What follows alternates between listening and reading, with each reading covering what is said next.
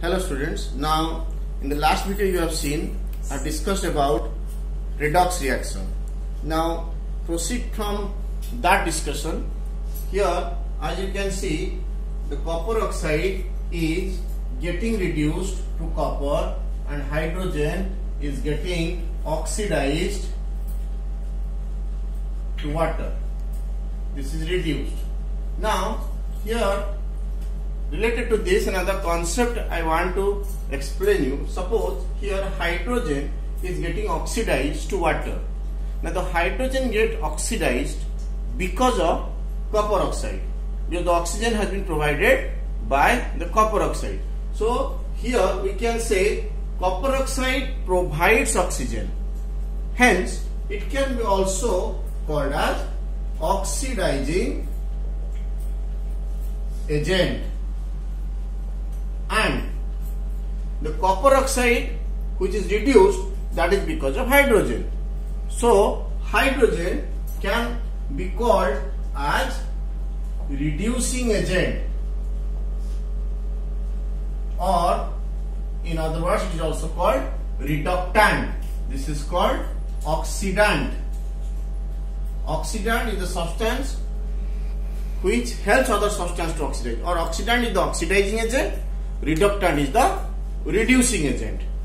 Okay so based on this also question can be asked so i will also give in my assignment you have to identify which one is oxidizing agent which one is reducing agent.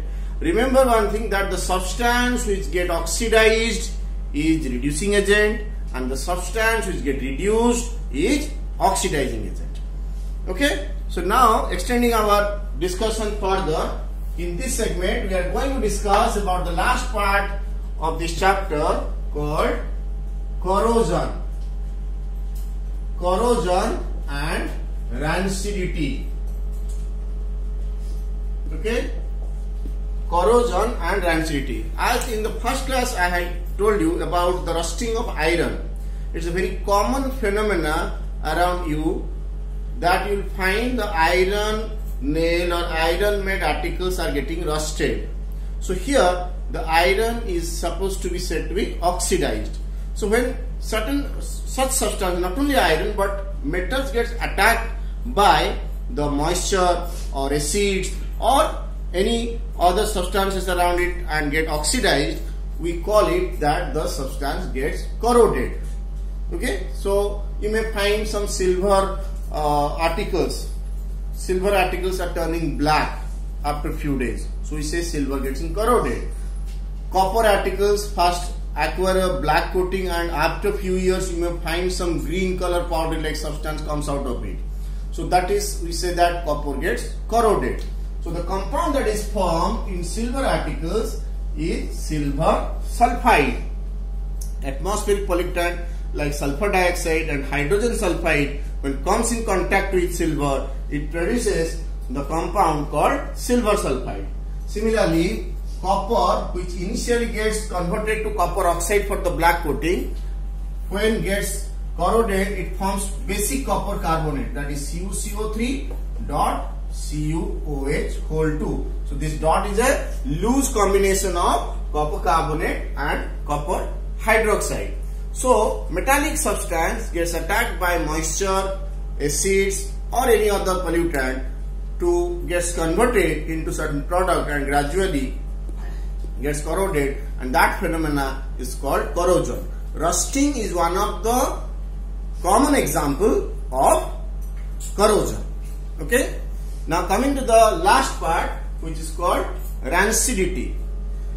Sometimes in your in our surrounding you may find that if you keep one a piece of butter we are usually keeping it in a freezer.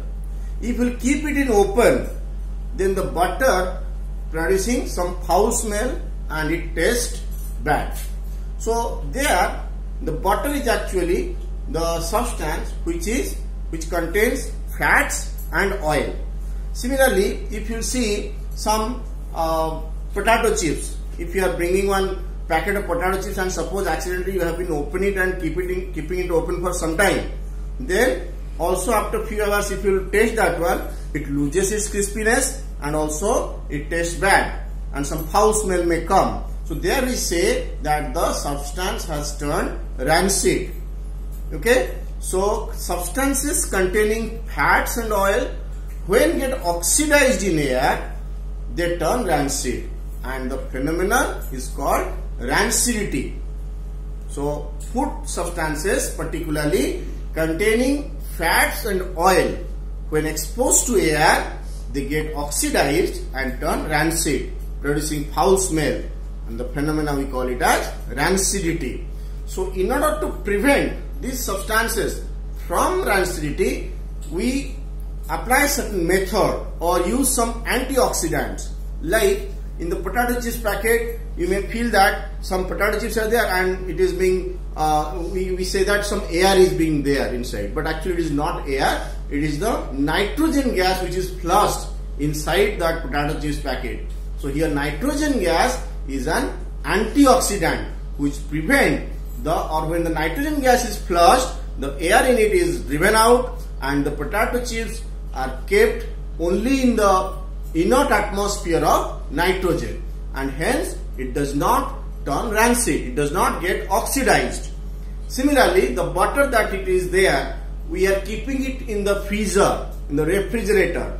So there, by lowering the temperature or, or at low temperature, these substances do not get oxidized and hence can be prevented from this rancidity. So there are some other uh, chemicals which are also used as antioxidants. So nitrogen is one of the antioxidant that is used. So other antioxidants, let me tell you, one is there called BHA and BHT. Butylated hydroxy anisole. This is one substance which is which acts as an antioxidant. Another one butylated hydroxy toluene. This is also another antioxidant. Although these two substances are not mentioned in your book, but you can remember it as that these are the antioxidants which are also which can be used to prevent the rancidity of certain substances. Similarly, if you see some of the old books, do you if you have some old books, you'll find that the pages are somewhat they turn yellowish. that is because so here I do have an old books. Here some of the it gradually turns yellowish in color. The yellowish color is due to the oxidation of cellulose because it is also getting exposed to atmosphere for quite a few years and that is why it also gradually turns yellowish in color. That is the oxidation of cellulose occur. And when cellulose gets oxidized, it may give several types of other products and that is why it, slowly or gradually become weakens and uh, getting turned. Okay, that is what the in the in your day-to-day -day surrounding also you will find several examples of the oxidation of the substance, the corrosion of the substance and the food material also getting rancid. So based on all this discussion I will provide some assignment that you are going to solve and in the coming class we will have also the discussion on the question answer that is given in your book. Okay, thank you.